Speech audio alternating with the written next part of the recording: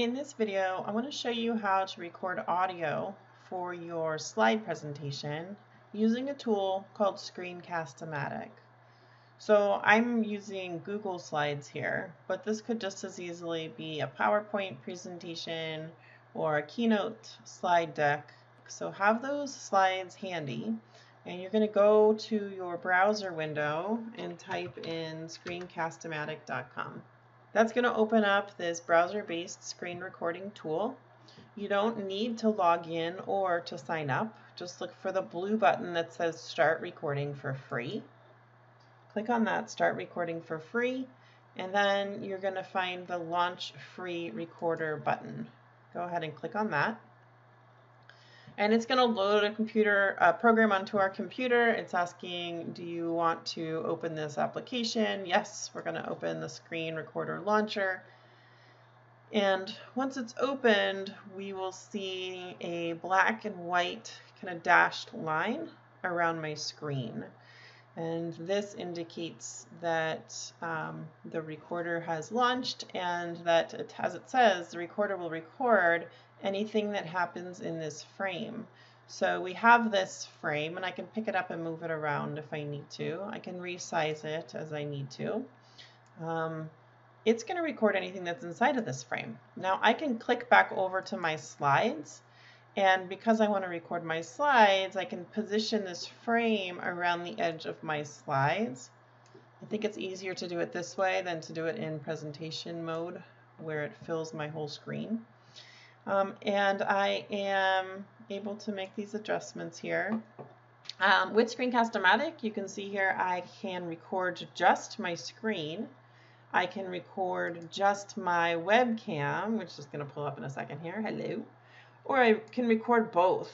And that gives me a picture-in-picture -picture of myself down in the corner in my slide as well. And it would even allow me to turn myself on, like start with my webcam and maybe turn myself off and then maybe come back and end with my webcam talking head. Um, I am going to just do my screen um, and skip the webcam altogether for this one, but you have that option with Screencast-O-Matic. Notice that you have a 15 minute recording time. That's because this is a free recorder and I can only do 15 minutes at a time with this recording. I'm cool with that because I think 15 minutes is a decent amount of time um, to, and I can split my long presentations into parts. So if I usually, if these slides take me more than 15 minutes to get through, then I can have a part one, part two, part three of this slide deck. Um, and then you can see the green bars that are moving across this narration panel. This just means that it is detecting my audio. So you are going to do want to do like a sound check, sound check, one, two, three, and make sure that you're getting audio here. If you're not, you would select the microphone and make some changes here so that you're getting the audio that you need. And I think we'll be good to go with that one.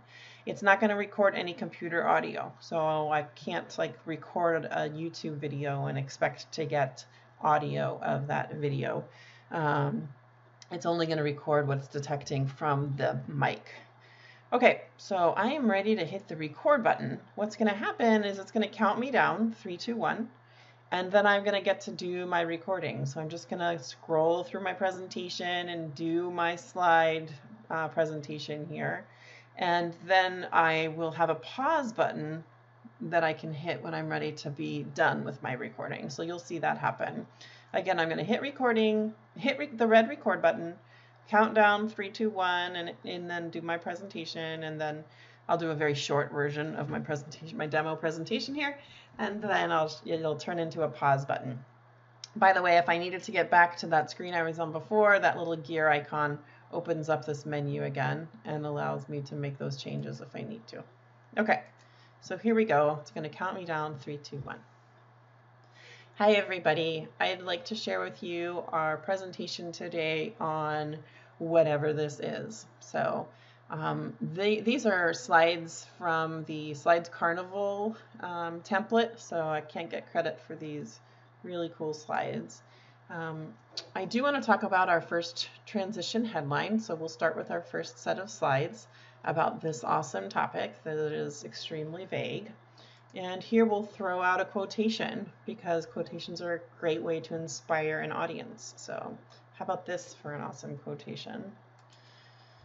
Next, we'll look at this subtitle or slide title, and we've got a bulleted list, and um, we would keep it short and sweet with this slide, wouldn't we?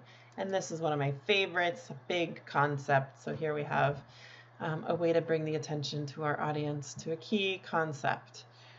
And I think I'll wrap it up with that. So thanks everybody for watching um, these demo slides from Slides Carnival.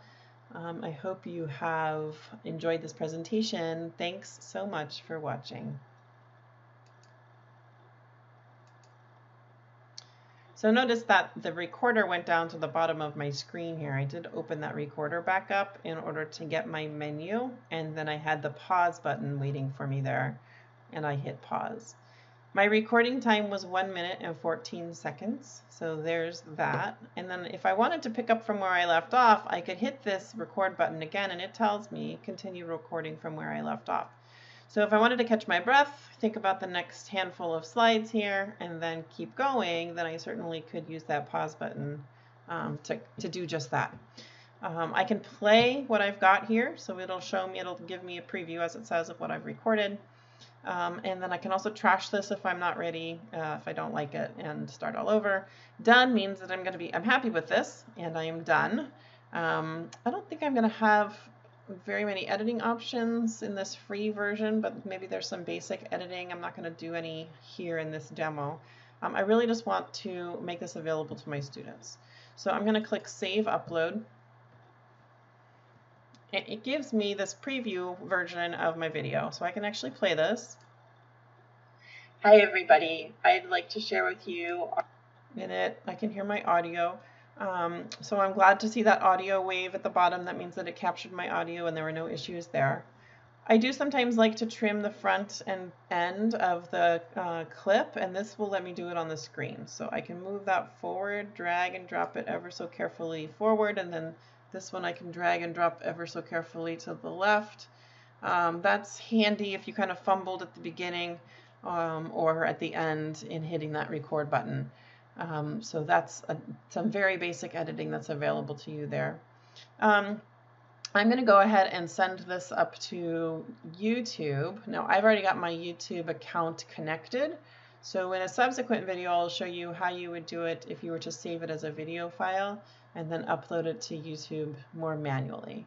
So if I hit upload to YouTube here, because I've already connected it to my YouTube account, um, it's recognized that on this computer. And I'm just going to say slides uh, demo one. Okay. And here's where I can decide the privacy level in YouTube. So I'll go ahead and make this public. Um, you can keep it as unlisted if you're just planning on sharing the link with your students in Canvas, um, whatever you wish for there. This is fine, category, education, and cursor highlight. You may have noticed that as I clicked through the slides, it highlights my cursor. And here we'll throw out a quotation. Quotation, because actually I don't really see it. Um, I must not have been moving my mouse at all over top of the slides, but maybe in the beginning. There it is. So if I wanted to take that off, I could say no cursor, at all and it hides the cursor. I could say just the cursor and then it doesn't highlight it and I could say highlight the cursor and then it puts that yellow halo around it. So you can decide what would work best for your video. Once I've made those choices, I'm going to go ahead and publish it. Um, in YouTube, it's going to take care of the captioning for me. So there's some up, up there's some options here to um, to upload captions with it as well, but I'm just going to be using the YouTube captioning um, once it's up on YouTube. So let me hit the publish button, and then I've already given it permission to write to my YouTube account. So that is part of the setup steps to get these to get Screencast-O-Matic to quote talk to YouTube is get granting that permission. And you can see this um, slowly uploading to my YouTube account and then it'll begin publishing that as well. So once it's complete, I get this um, window, the success window, that it's successfully published to YouTube. I have a few options here for sharing it to social media, but really what I need is to copy the link. The link to that is the link that I can share with my students in an email, in Canvas, etc. So that's what I need to um, copy. I can also say open upload. So what this is going to do is take me to that YouTube video and play it in YouTube. So let's do that.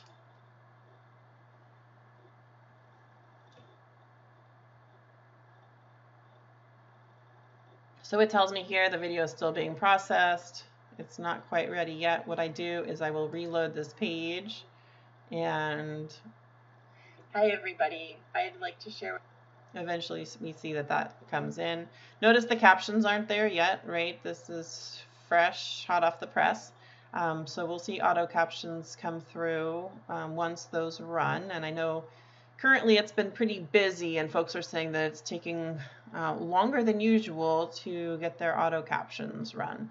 Um, but once they show up, you'll see the CC down here and you'll be able to edit those with your edit video button. Um, I'll check back on this one and um, make sure that this one, the auto captions do run. Okay, so now this is uh, the link that I can share to, with my students in, in Canvas, right? I have my shared link. It's just like any other YouTube video and I can put this in my Canvas course for my students. So here I am over on a Canvas discussion board. If I wanted to include these um, slides in a discussion, I could add a discussion in Canvas, call it our amazing lesson, right? I've still got that YouTube video on my clipboard, so when I paste there's the link to the YouTube video. I'm going to paste and hit enter, and that's automatically going to embed that for me into this discussion. I could say, watch the video presentation above, then use the reflection questions here to post your reply to this discussion.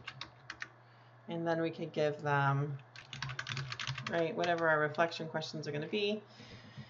If I hit save on this guy, I should see that YouTube video embedded right there in Canvas. So they can hit play. Hi everybody, I'd like to share with you. And there is your narrated slide presentation in Canvas. Once those captions become available, you'll see the caption button down here as well. So that was a quick demo of recording your slides in Screencast-O-Matic, uploading them to YouTube, and sharing the link in a, this case, Canvas discussion. Thanks for watching.